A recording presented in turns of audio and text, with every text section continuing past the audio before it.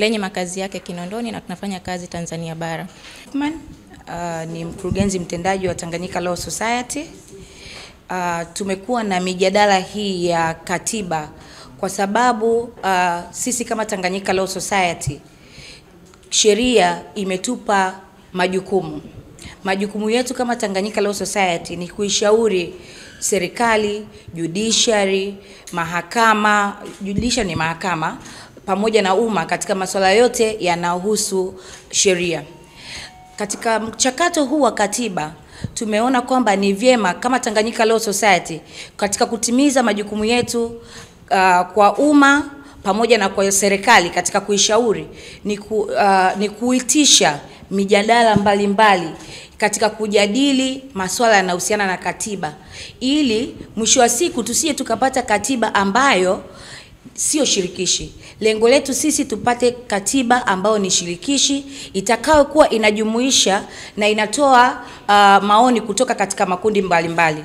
Tumekuwa tukipata tukiitisha makundi kwa mfano ya walemavu, ya vijana na siku ya leo tumeitisha makundi, ni kundi la wanawake tukiamini kwamba wanawake ni asilimia hamsini na moja ya Watanzania wote na tunajua kwamba wanawake wakitoa maoni basi yale maoni sio tu kwamba wanatoa ni maoni ya wanawake, ni maoni ambayo yanakuwa yamebeba watu wengine nyuma, wamebeba wanaume, yamebeba watoto, yamebeba vijana. Kwa hiyo sisi tumeona kundi hili ni kundi maalumu na kundi muhimu sana katika mchakato huu wa marekebisho ya katiba, kwa sababu kule katika masuala ya katiba kuna haki zao zinazungumziwa, kuna haki za ardhi, kuna haki za masuala ya bails, kuna mambo mengi ambayo yanajumuisha yana, yana haki za wanawake kwa ujumla na haki za watoto. kwao tukaona ni vyema sisi kama Tanganyika Law Society tuwaite wanawake ili watuambie wao wanaona nini ambacho kinafaa kubadilika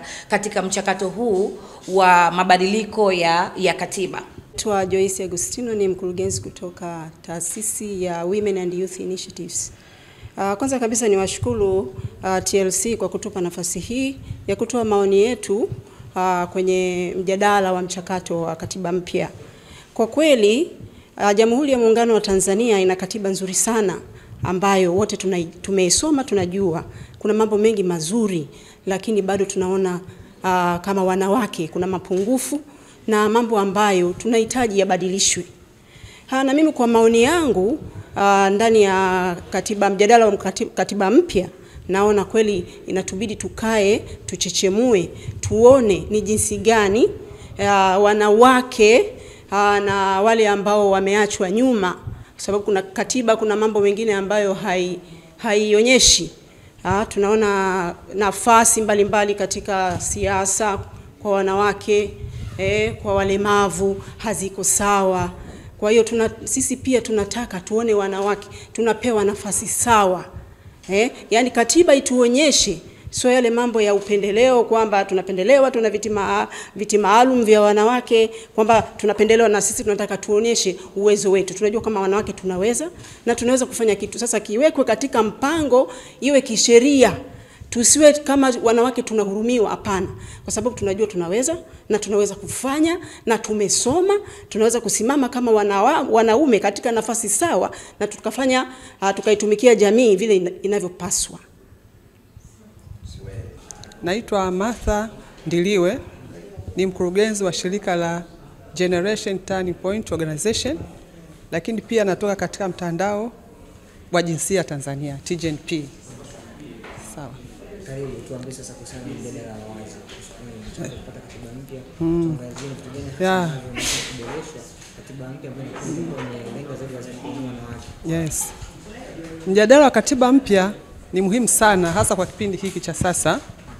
Mwanamke anatakiwa ashi, ashirikishwe. Yaani huu mkataba wa kupata katiba mpya, mchakato unatakiwa uanzie chini kwa mama, ukamsikilize shida za kina mama tunazokutana nazo. Mfano, sasa hivi kuna masuala ya kina mama wanahangaika mikopo. Ni kweli serikali imetenga labda pesa nyingi kwa ajili ya wanawake ili waweze kujikwamua kiuchumi, lakini haimfikii kila mmoja na haifiki kwa wakati. Kiwango kinachotolewa ni kidogo, lakini hakimfikii kila mwanamke. Wanawake ni wengi kuliko kiasi ambacho tunakipata, na hiyo inalazimisha ina, ni kama inalazimisha mama atafute njia nyingine ya kupata mikopo. Katika jamii ambayo mimi natoka, nimeona jinsi wakina mama wanakimbia nyumba zao kabisa. Mama anachukua mkopo, anaanza kudaiwa, anafatwa na wenzake, ndoa zinavunjika, anahama kabisa mkoa.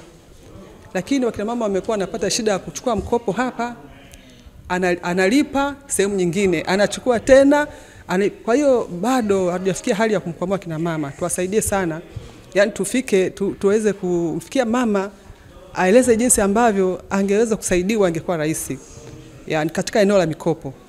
Yes, mikopo ni changamoto hata katika vyombo vya, vya kifedha ah, masharti ni magumu sana.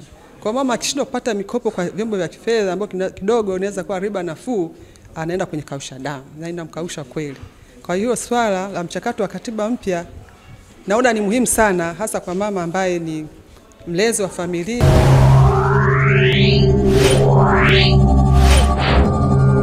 Meow.